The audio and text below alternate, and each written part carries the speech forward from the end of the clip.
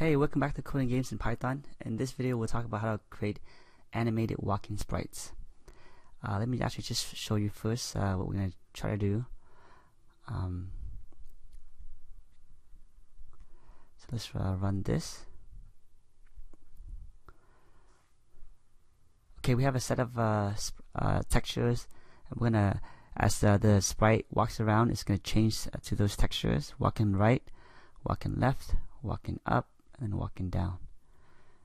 And then standing. Yeah so that is that's what we like to do in this video. Okay so let me kind of um, go to this real quick uh, to the lecture notes. So in the previous video we talked about some common types of sprites. We talked about facing right facing left sprite. We talked about time sprite like uh, an explosion sprite where uh, all the textures are drawn every uh, certain number of frames or every time interval and then in this video, we'll talk about how to create walking sprite, where a character is walking around, as uh, you saw in the demo. So Arcade actually have a, a, class called Animated Walking Sprite class. It allows us to kind of specify walking and standing textures for our characters, and then it change them accordingly as we move our characters. Um, this class, however, is only used for a 2D arcade game where the view is top down. Uh, for example, a player is walking around to various rooms below and the view is from the ceiling looking down. So this is very limited. Um, and so we're going to look at the source code to understand it and learn how to use it. Uh, and this is important because uh, once we learn how to use it or understand the source code, uh, next time when we write a game that is a, a side view platformers, we know how to basically copy and paste it and then modify it so that it fits with uh, other view platformers. So this is uh, very important to kind of understand the code. Okay, so let's um, look at this. Uh, so here I am on GitHub. This is the source code for Arcade, and I'm in the Sprite.py. Uh, so this is uh, uh, the, the, main class here is the Sprite class. We've been we've been using that, but down below here is, uh, is the animated walking Sprite uh, class, which uh, derived from Sprite. it has a constructor, it has a center x, center y, etc. but a really important thing here is that notice it has um, some textures for standing right, standing left, walking left, walking right, walk up, walk down. Uh, these are initially none. And then it has uh, an index which starts at zero. And as the index uh, goes uh, increases, then we are cycling through uh, various textures. And then because uh, this is a walking sprite, we need a, a texture change distance, which is 20 in this case. That means that if we walk 20 pixel, then our texture is going to change to the next texture, etc. And then this keep tracks of uh, the last time we changed our texture, the center X, center Y, so that uh, if we far away enough from the last change, we need to change again, uh, etc. So these are the kind of the uh, attributes that we need to um, uh, know how to work with. Okay, so here's the update animation. So this is the uh, function that will basically pick the use the logic to pick the right texture, and as we're walking, it knows how to um, change the textures to to accommodate our walking. Okay, so this is if we understand this method, then we should be good. So let's go to this. Uh, this first part is very simple. It look at the current position x1, y1, and looks at the the last position where the the last text change happened. So this is the last position. Uh, this is an attribute, so we will we'll save this as we go along. But so key is that we have to find the distance between the current position and the last time we changed texture position, and if that distance is uh, 20 or bigger, then we're going to change our texture. So that's going to come out uh, a little bit later. And then there's a texture list, uh, which is initially empty. Okay, so the first logic is to kind of see whether we change direction. Um, and that's very simple. So for example, if we are, if our velocity in the x direction is positive, which means we're going right. If we're going right uh, and our y velocity is zero, that means we're only going right. And if we're not facing right, um, and if we have uh, if there's some walk walk right textures to be used and the length of it so in other words if this is not none and that there are some images uh, in this um, uh, in this list of walk right textures. If all those are true then that means that we must have changed direction because we were uh, we, we're going right but we were not previously going right. And so if that's the case we we say that change direction is true and then we set our state to be now face right so hope that makes sense. And that's the and the rest of it is very similar.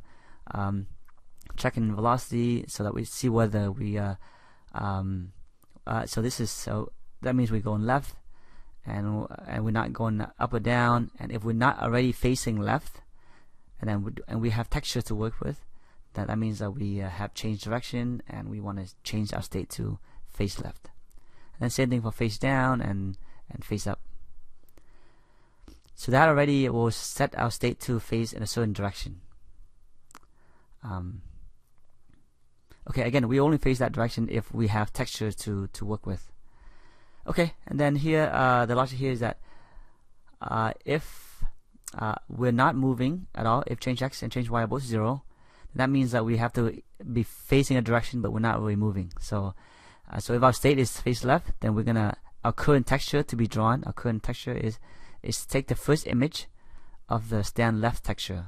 If we're facing right, take the first image of the stand right texture. If we're facing up, then uh, and we're not moving again, then we take the first image of the walk up texture.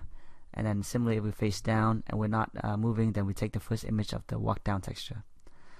Um, and then, uh, and then here's uh, here's what things are happening. If we change direction, or if our distance is at least uh, the texture change distance. In other words, if we either change direction or we move far enough, then we want to remember this current position because this new position will be the the the last texture change uh, position and then uh, the logic here is to kind of see whether we, we're facing left right up or down and to set the texture list be uh, be the correct list face left I take the left texture face right I take the right texture etc um, and finally uh, once we figure out what uh, the texture list to use and the direction we're facing then we can cycle through our index at plus one. And if I add if I, by adding one I'm still within the right uh, range then I, I want to cycle back to zero. So this will cycle through all the textures in a certain direction. And finally we set the texture to be that uh, texture index.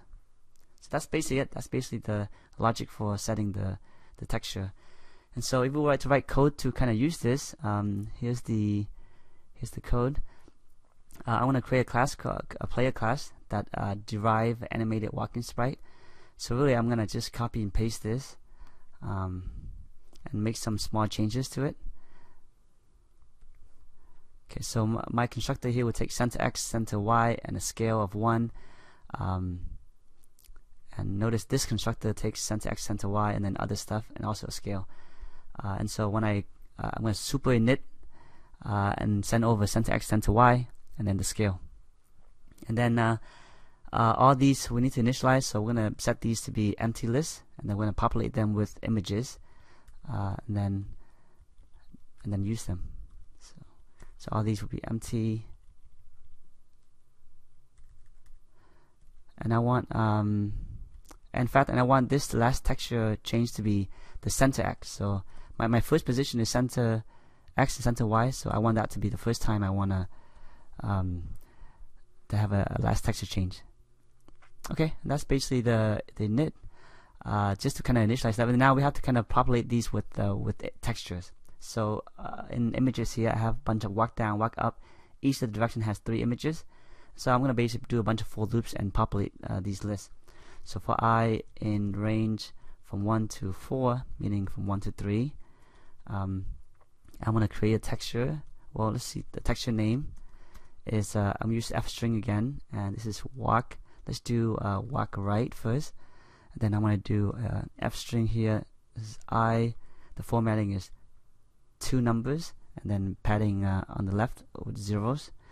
And I want this to be uh, dot png so that's the name then I want to create the texture uh, by calling arcade.load texture uh, with texture name. And then I'm gonna just uh, populate uh, so this is the um, walk right. So I need to uh, walk right texture append it to this list that's basically it. So we just create a, a bunch of images add it to this uh, list. I also have to do this for the other ones so I'm just gonna copy this and just uh, paste it. Okay, so next thing is going to be, let's do walk left. And this would be walk left. Um, and then again I'm just going to do um, walk up. And then this would be walk up. That's right. And then one more time. And now this will be walk down. So this will load all my textures. And that's basically it. That's my that's my my class so I'll go to the main app uh, and then I'm just going to create a player. Uh, I'm gonna call that just player and I need so I look at my class I need a center X center Y and maybe a, uh, a scale. So I'll put this as uh, maybe it's 200 300 and maybe scale of uh, 0.5 or something. Uh, so there's my player and I'm gonna draw my player again I could put this into an, uh, um, a sprite list but let's just make it simple here. Then I'm going to also update my uh, player. And that's before I have a code for moving the player etc and also I need to also call my um, update animation because that's the that's the function that we looked over earlier that's to provide the logic for changing all the textures if we did this correctly then this should work so let's run that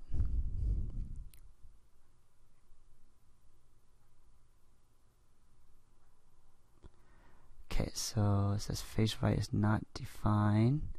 So go back. So I actually don't want this. Um, yeah, so this has already been initialized in the walking uh, sprite, so we can just remove that. Save this, do this again.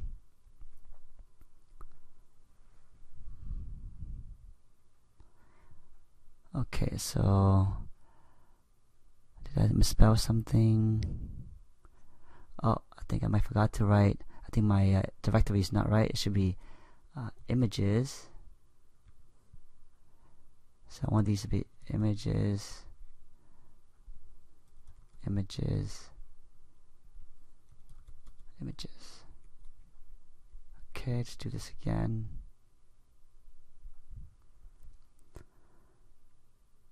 okay, out of uh, out of bounds. So let's see the animation is out of bound. Um, oh yeah, yeah, I forgot to do something. I also forgot to do uh, for. Um, so if I'm walking right, if i is uh, zero or one in the first image uh, from the walk right, I also want to append that to um, uh, stand right. So remember, we need we, we forgot to initialize the stand right texture dot pen. so I take the first uh, image of the walk right and append that to um, the stand right I also want to do the same thing for um, walk left so so if it's the first image then I'll I'll put that in uh, in stand left. So again uh, this uh, bunch of images here I pick the first one I put it if I'm not moving then I'll pick the first image and I'll put that in stand left um, list. Okay so sorry about all those mistakes. Let's try this again. Okay there we go. Works.